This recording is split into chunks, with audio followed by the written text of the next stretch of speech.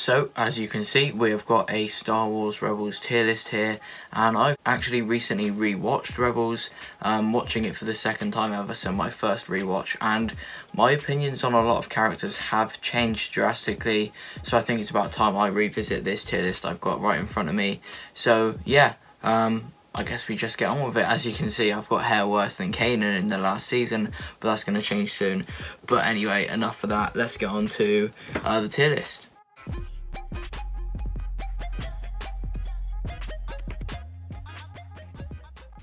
Well, it appears that we've got um, basically all of the Ghost crew at the top of the list. So let's start off with Ezra, S tier. Um, he probably would have just been A tier and nothing more last time.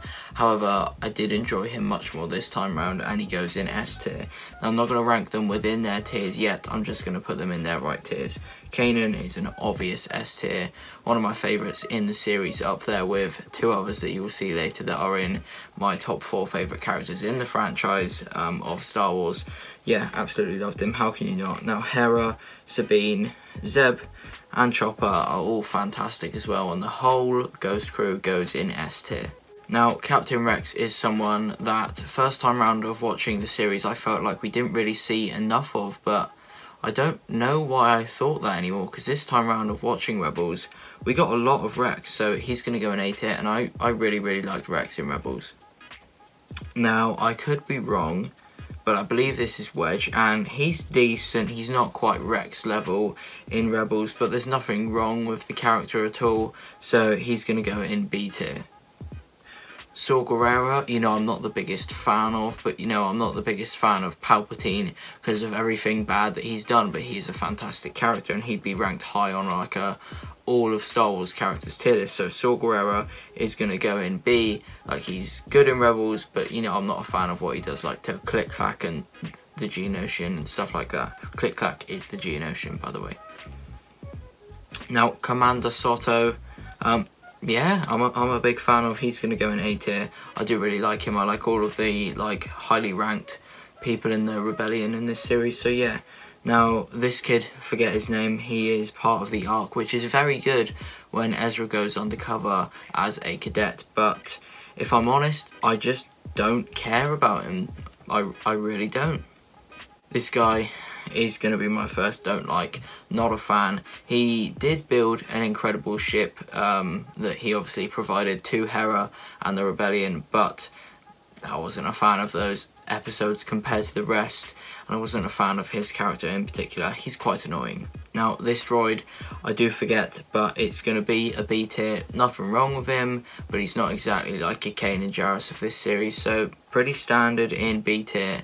Nothing to say about him. Ahsoka is going to be another S tier. How can't she be? She was fantastic. Her relationship with Kanan and Ezra is so, so interesting. Her fight with Vader is incredible. So, of course, she's going to be an S tier. I can't wait for her series, obviously being the Ahsoka series, where she goes and looks for Ezra. Now, Palpatine, I did mention him earlier that I like him as a character, but not in Star Wars Rebels. So he's going to he's gonna be a don't care or don't like to be honest. Wasn't a fan. Vader, however, completely opposite. I loved him in this series. Obviously, I spoke about his fight with uh, Ahsoka earlier, which I loved. And yeah, everything about him is incredible. The way he is portrayed to be so, so clear of any Inquisitor, I love. He deals with Kanan and Ezra with ease. And it makes sense that there's not too much of him in Rebels because, you know, the main characters being Kanan and Ezra are significantly less powerful than him, so we wouldn't just want to see them lose every fight, would we? Tarkin is going to be the first C tier character. You know, I didn't dislike him at all, um, but you know, I actually no, B tier. I didn't dislike him at all. There were many parts that I liked, but it's just yeah, it's Tarkin. Tarkin's fantastic, but it didn't really do too much in Rebels. I much prefer him in Rogue One. I think that's where I like him the most. So yeah, B tier. Now, Kallus is another one the first time around that would be lower ranked because um, I just remember not liking him after he turned to the Rebellion. However, this time around I really liked him and he's going to be the third character in A tier And the Grand Inquisitor, I do really, really like the Inquisitors in Rebels. I think is a fantastic villain for season one. And so yeah, he's going to go in S tier. I believe if he like maybe survived a little bit longer, he would be one of my favourite characters. Um, but he was killed off in the first season. He did his job for the first season, and yeah, S tier, fantastic. The fifth brother, again, I said I like Inquisitors, and I'm just going to get straight to it. A tier. Um, you know, as far as Inquisitor characters go, he doesn't really stand out from the crowd, but I really like the Inquisitors. He does his job of filling in from where the Grand Inquisitor, like, after he dies, alongside the Seventh Sister, of course, and has a couple of great fights with Kanan and Ezra, and yeah, A-tier character. Now, the Seventh Sister, obviously, is partnered with the Fifth Brother for a lot of Rebels. Um, I I really, really like her for some reason, she's going to go in S tier. Like, I've said this many times for some reason, I just really like the Seventh Sister, so she's definitely going to go in S tier. Um, I can't really explain why, I just enjoy watching episodes with the Seventh Sister in. Now, I believe this is the eighth brother. Um, this is probably the worst Inquisitor in Star Wars. There's not really anything to the character. He's only in like two episodes, so in fairness, you can't really go too high because there's not anything to him. So he's going to be the first C tier character. There's not really anything to like about him. However, I don't not care about him because he's still an Inquisitor and he's part of two of my favourite episodes in Rebels. But yeah, C tier. Can't remember this guy's name. He is an absolute mug. However, that doesn't mean that I dislike the character. He's going to be another C tier. I do care about him like a little bit. Um, and I do pay attention to the episodes that he's in. Um, but no, not much to him. Now, Thrawn is one of the characters that I said earlier that is in my top four in the whole of Star Wars. So he's definitely going to be an S tier. He's just so, so clever and his respect for Hera Syndulla is is great. I really like seeing that the way he respects his opponents and like tries to study his opponents as well. It's really interesting, and I can't wait to see him in the Filoni verse, specifically the Ahsoka series. Again, I can't remember this guy's name. Can you? Probably not. Why would you? Um, he's he's gonna go above the other guy in C. He's gonna go in B with Tarkin. Um, we see him more than Tarkin, but he's not as main he's not as main of a character as Tarkin. Not too much to him, but don't dislike him, don't love him. He goes in B. Now, can't really remember who this guy is. I think he is in the episodes with Leia, so he's going to go in B. Price, you know, I'm not a huge fan of her, but she's quite important to the series. Um, however, she killed Kanan, oh, ordered the kill on Kanan, so she goes in don't like. Don't care about this guy.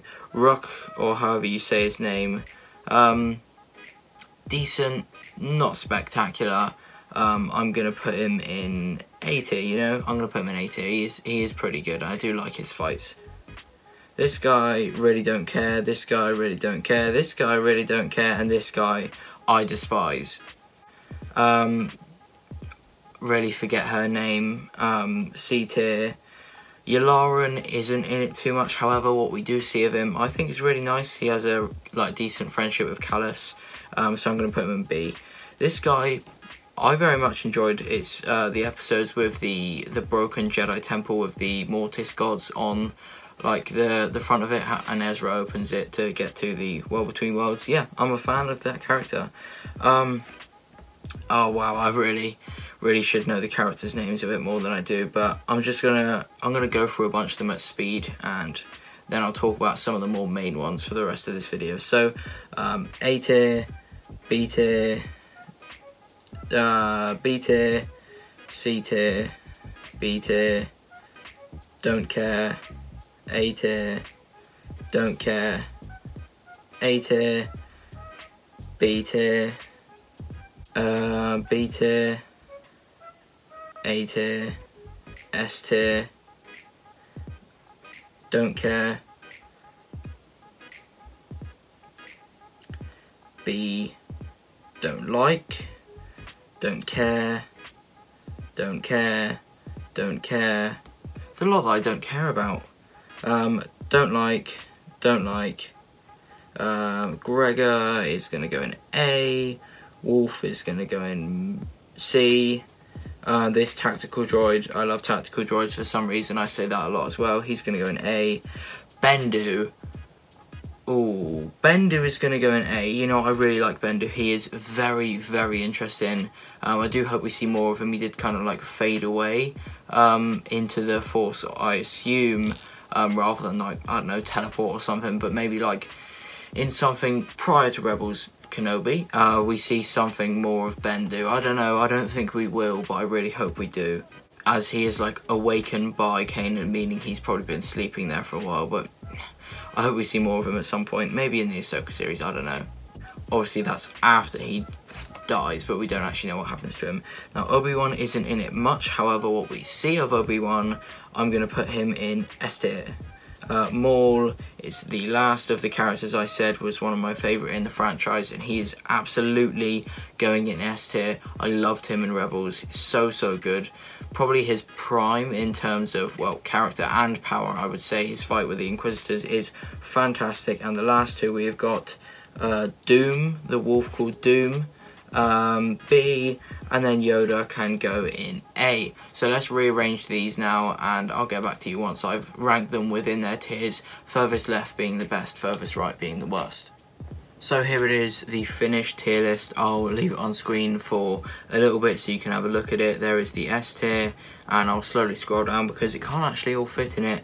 But yep, you got enough time on the S tier now you can actually see it all. So that is my uh, Star Wars Rebels characters tier list. Um, let me know if you agree on any of these rankings. Let me know if you heavily disagree on any. And you know, feel free to take the, like, do your own tier list and you know make your own YouTube video about it. Go on, you know you want to, or maybe a TikTok or something and at me in it. You know my account is at master underscore 2187 and if you make a YouTube video on it, comment below and I'll make sure I watch it. But yeah, um, I guess there's no more to be said. Thank you so, so much for 7,000 subscribers. Please do subscribe if you haven't already, and if you haven't got the notification bell on, I would recommend you do so, because sometimes, um, if you don't have the notification bell on, you don't actually see uh, some of my videos in your sub box, so make sure you do that. And yeah, uh, thank you for watching, and in a bit.